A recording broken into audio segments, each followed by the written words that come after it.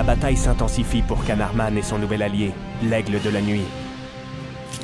Non mais bordel, c'est pas compliqué, je suis un pigargue, hein?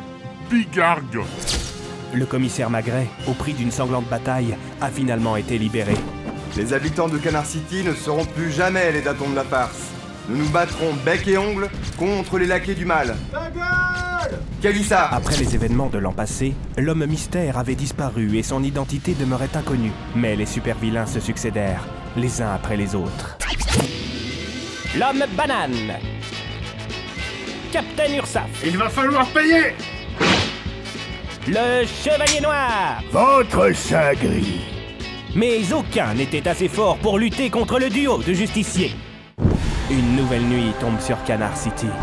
Mais cette nuit-là ne sera pas comme les autres.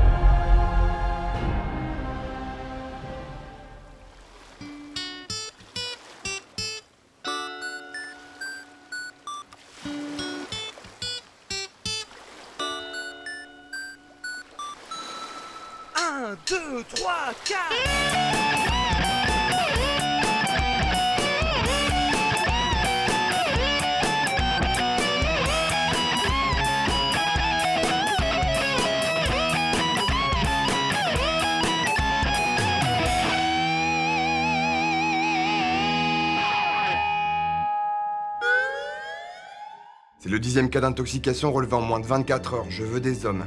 Ici et ici. Euh, monsieur, c'est une carte de Skyrim. Oui, envoyez des hommes à Blanche-Rive. Papa, j'ai trouvé la formule de la neurotoxine que tu recherches. Babs, je ne veux plus que tu t'approches de quoi que ce soit qui ait un rapport avec les super vilains. Tu sais très bien ce qu'ils t'ont fait.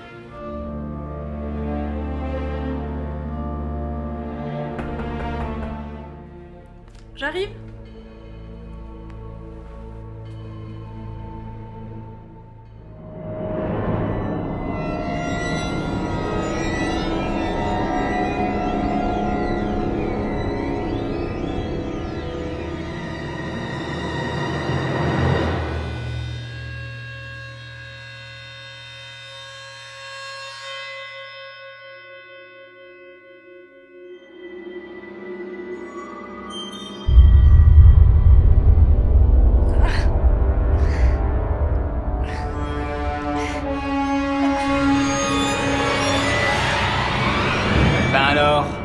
fais pas cette tête. Faut garder la banane. Mais c'est super dangereux, ils ont intoxiqué tous les jeux vidéo de la ville. Il faut prévenir le maire, le président sud. Laisse-moi t'aider, papa. Tu peux toujours courir, Barbara Bon sang, et Canarman qui répond toujours pas. Éteignez-moi ça, officier, ça sert à rien.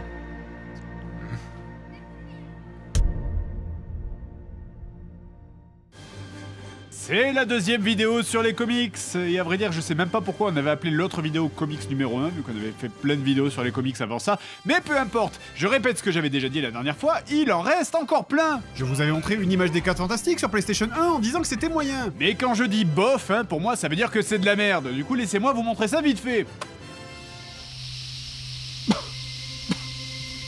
En même temps, c'est une vieille console. Vous avez vu Ouh 3D 3D Aussi, il est en 3D Le choix du joueur Ouh C'est un cube en 3D Ouh J'aime beaucoup comment le jeu te jette au visage sa 3D sur l'écran titre. Mais dès que l'écran de chargement et son petit jeu là qui va avec se termine, Ouh 3D Ah bah non. Le jeu est donc un side-scroller immonde avec un vague décor en 3D et des personnages en 2D, tout ça sur fond de musique de film porno des années 70. Non mais sérieusement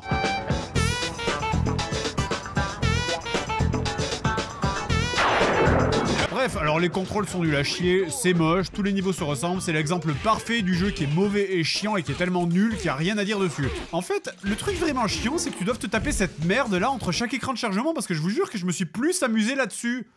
Waouh eh, vous avez vu comment j'ai doublé? Je vais plutôt vous montrer un autre jeu qui bizarrement a été autant apprécié que détesté, c'est Spider-Man and the X-Men The Arcade Revenge. Un jeu édité par LGN, hein, toujours sur les bons coups.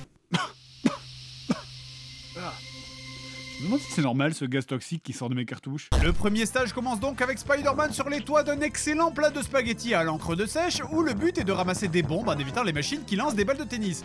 Mais évidemment tout ça n'est pas si simple parce que pourquoi est-ce que je dois attendre que des bombes soient en train de clignoter pour les désamorcer? Je veux dire, je passe le niveau à passer et repasser devant les bombes qui sont en plus toutes dans le désordre, mais je peux pas les toucher parce qu'elles clignotent pas? C'est quoi C'est genre la présomption d'innocence des bombes? Oh mon dieu, il y, a une bombe Oh, ça va, elle est pas armée, c'est bon, elle c'est là là. Mais bon, passons. Le niveau donc se finit assez vite et nous permet d'accéder à la suite du jeu où le terrible méchant Arcade a capturé les X-Men. Putain, c'est lui Arcade on dirait le Joker du tiers-monde. Bref, on a maintenant accès au vrai choix du niveau où vous allez pouvoir sélectionner quel personnage vous souhaitez jouer entre Spider-Man, Gambit, Cyclope, Wolverine et Storm. Et c'est toujours la même merde des jeux LGN. Tu sens bien que c'est un jeu générique qu'ils avaient en réserve et sur lequel ils ont appliqué la texture X-Men au dernier moment pour le vendre ensuite. Je veux dire, tenez, Tornade, elle vole, elle balance des éclairs, donc ça va forcément être un niveau aérien, hein?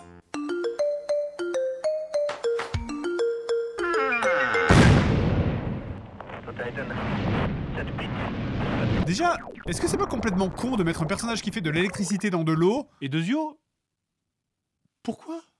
Je veux dire, je suis un dauphin. Je dois respirer des bulles sous l'eau, je nage comme un dauphin, j'affronte des poissons. Je suis un putain de dauphin. À quel moment tu vois ça?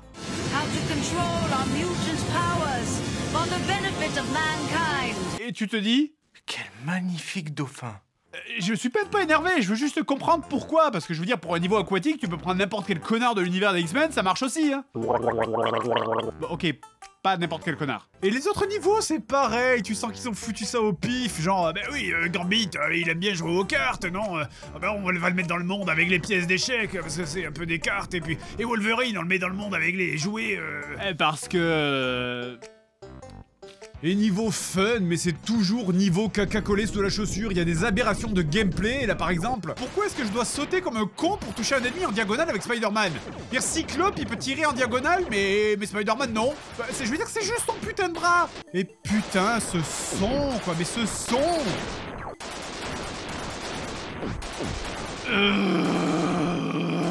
Putain de merde J'entends même pas la musique J'entends plus la putain de musique Ah non, watashi wa subarashi no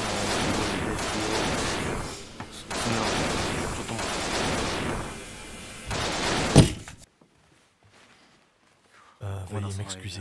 Je disais donc... D'une manière générale, hein, ce jeu, tous les niveaux sont la définition même du « j'en peux plus ». C'est clairement, et sans exagérer, un des jeux les plus durs et frustrants auxquels j'ai joué ces dernières années. Hein. Le niveau de Gambit me donne envie, mais de me crever les yeux et de les bouffer, quoi. J'étais obligé de fuir une boule géante. Le jeu te met sans arrêt des obstacles sur le chemin. Et je, je peux même pas tirer en diagonale Et l'interface du jeu qui masque ton perso et les ennemis, et les décors qui masquent les ennemis Et Seb qui masque la télé Oh pardon. Ah, je vais crever Je vais crever Non, non, non ah oui, évidemment, on a viré les checkpoints parce qu'on voulait vraiment vous emmerder. On, est vraiment contre l'assistanat dans les jeux vidéo. Mais vous savez ce que je déteste le plus? C'est le son du perso quand il meurt. Je l'ai tellement entendu des milliards de fois que je l'entends la nuit dans mes cauchemars.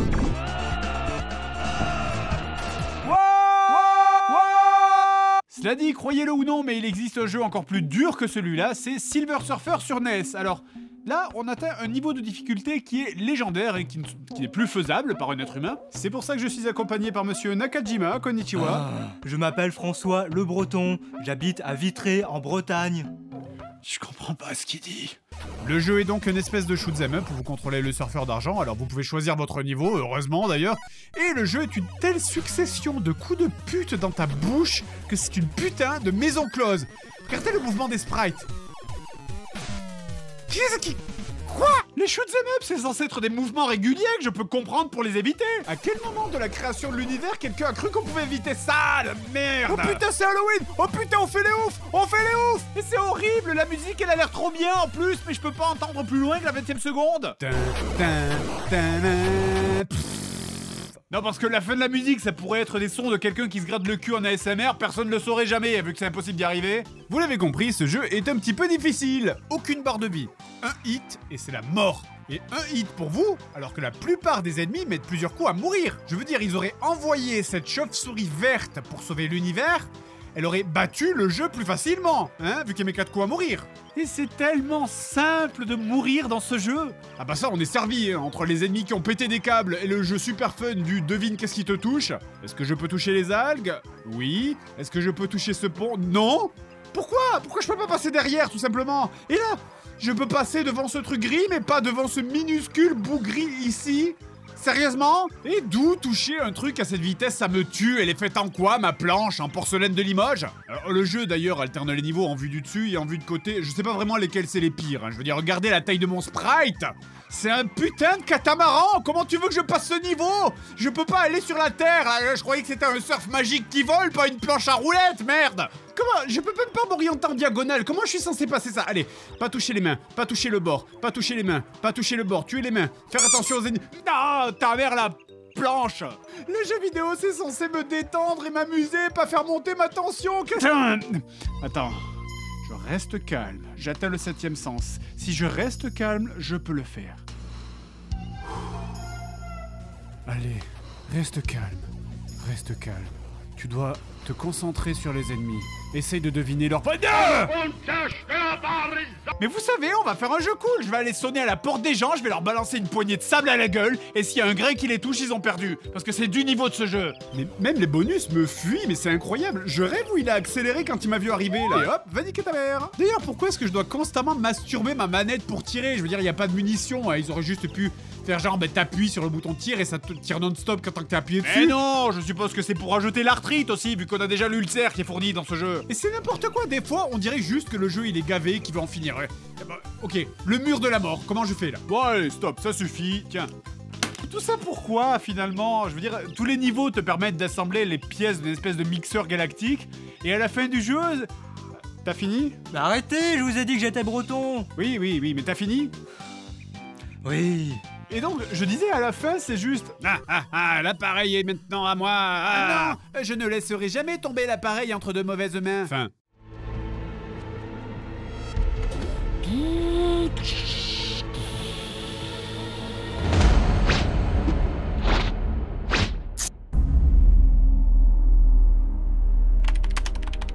Synthétisation du virus en cours.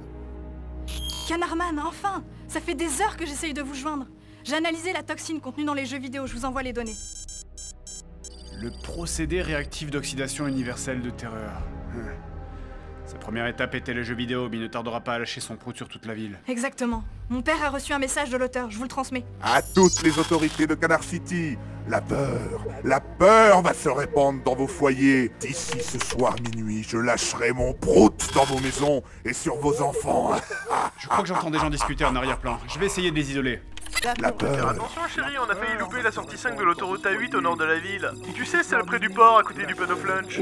Il y a un péage à 3,50€. Oracle, je crois savoir où il est. Attendez, Canarman. Vous êtes sûr que votre vaccin fonctionne? Il n'y a qu'un seul moyen de le savoir, Oracle. Catwoman sur GameCube, tiré de l'excellent film Catwoman que tout le monde a oublié parce que c'était nul. Le jeu commence donc par un excellent tuto qui va nous montrer toute la difficulté des ennemis de ce jeu. Oh mon dieu, j'ai été surpris. Donc ce tuto, c'est juste formidable. hein. Le jeu n'accepte de tuer les ennemis que sous certaines conditions. Là, ça fait 5 minutes que je fais des pirouettes autour d'un mec qui se relève en permanence, pendant que à côté, il y a Joe l'aveugle qui a vidé 18 chargeurs de fusil à pompe sur moi sans réussir à me toucher. Mais finalement, la police arrive et nous ordonne de se rendre, ou bien il... Non, mais les mecs, le principe de faire un décompte, c'est de tirer à la fin du décompte. Sinon, ça sert à rien en fait. Ne nous obligez pas à faire feu, nous ne vous voulons aucun mal Bref, après avoir mis le bijoutier à l'abri des flics, en fait, on s'enfuit par les toits.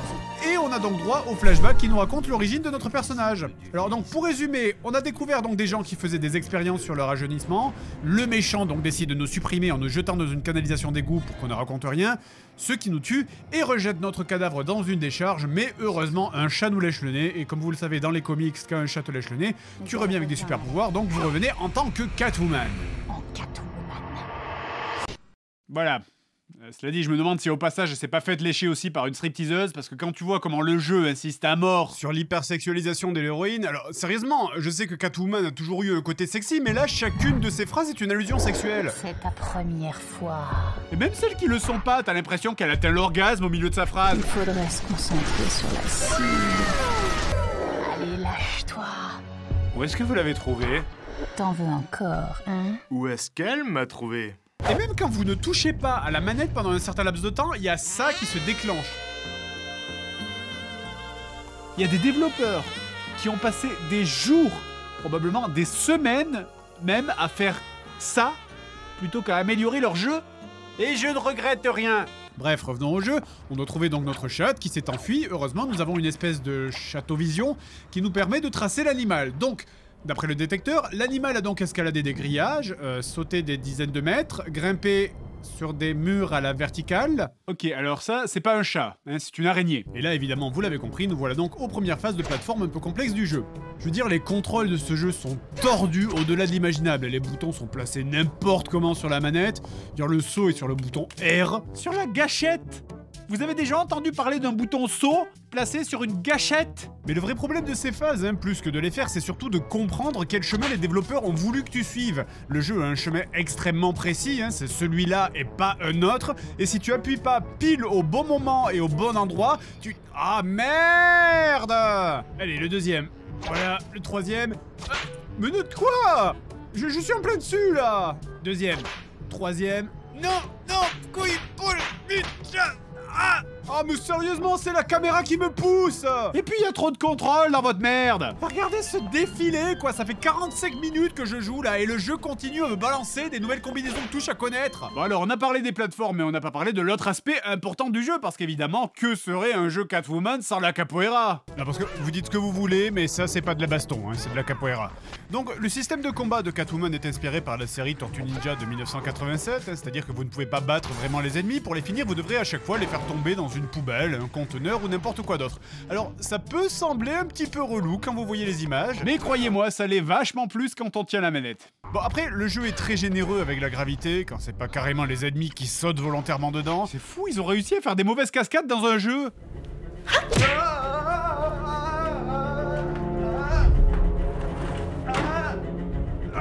Bon, bref, pendant ce temps-là, alors pour revenir quand même sur le scénario du jeu, je vous raconte, je suis toujours sur les traces de mon chat, alors que ça fait à peu près 3 heures que je joue, et je veux dire, j'ai passé des portes électriques avec des digicodes et tout. Je sais pas ce que c'est comme race de chat, mais euh... balèze, hein. Tout ça, et en plus, à la fin, tu crèves comme une merde, et tu le vois venir à des milliards de kilomètres, parce que le sol est pas de la même couleur, vous savez C'est un peu comme les, le vieux dessin animé, quand tu sens qu'il y a un rocher qui va tomber.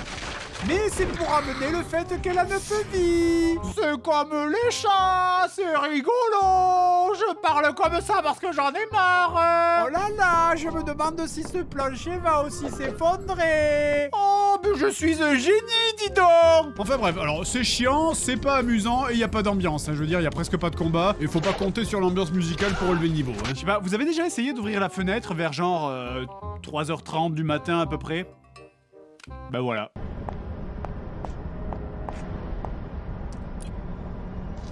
Et quand il y a des combats, attention, alors c'est la teuf.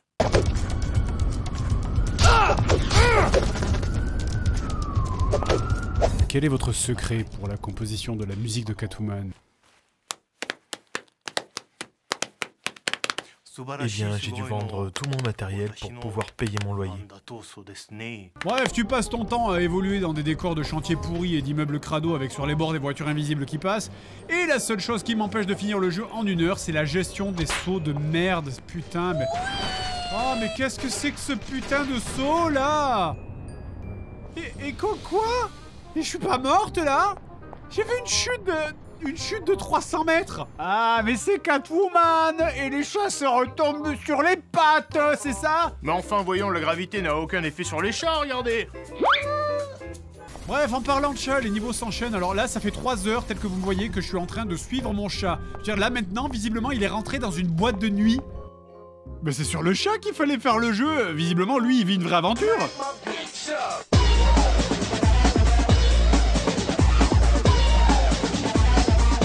Qu'au bout de 4 heures de jeu, tu retrouves le chat dans un compteur électrique dans une boîte de nuit, après avec une espèce de miaulement de lendemain de cuite. Bref, je peux affirmer que ce chat a passé un meilleur moment que nous.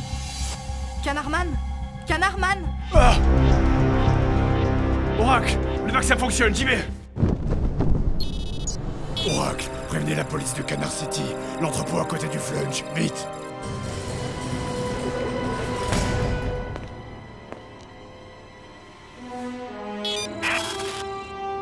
billet d'entrée pour le magicien d'Oz. Un masque d'épouvantail. Un épouvantail. Ah, je sais qui est derrière ce gaz toxique. L'homme banane. Oui, Canarman. La peur. La peur est la source du pouvoir, du contrôle. La peur est la clé de tout. Je vais t'arrêter, espèce... Vois-tu? Mes parents m'ont abandonné quand j'étais enfant. Le bonheur n'est pas permis pour une banane, n'est-ce pas?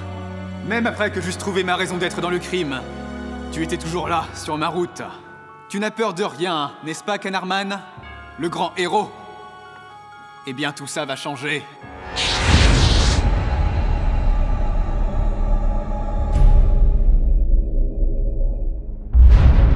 Quoi? Tu es immunisé, mon prout Arrêtez-le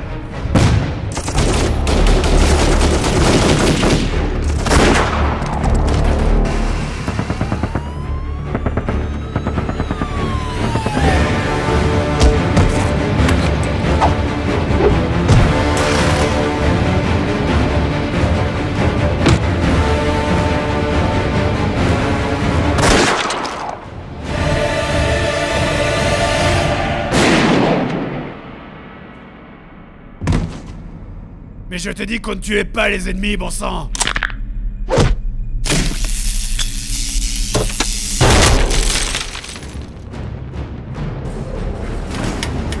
Non. Vous ne mourrez jamais. Jamais. Eh ben mon petit poulet, t'es cuit maintenant. Vous De toute manière, vous n'avez aucune idée de ce qui se trame. Aucune idée de qui est derrière tout ça Bien joué, commissaire, vous l'avez eu. Oui, j'ai bien épluché son dossier. Il va pourrir un bon moment en prison. Encore un détraqué qui va finir à l'asile. Je suis pas mécontent de l'avoir eu celui-là. À ce rythme, on va bien finir par tous les coincer et retrouver une Canardville tranquille. Statut inconnu. Je... je suis navré, notre homme a échoué Vous n'êtes que de misérables incompétents Boss, laissez-nous encore une chance Laissez tomber Je, je m'en occuperai moi-même. Je dois raccrocher, je, je suis occupé.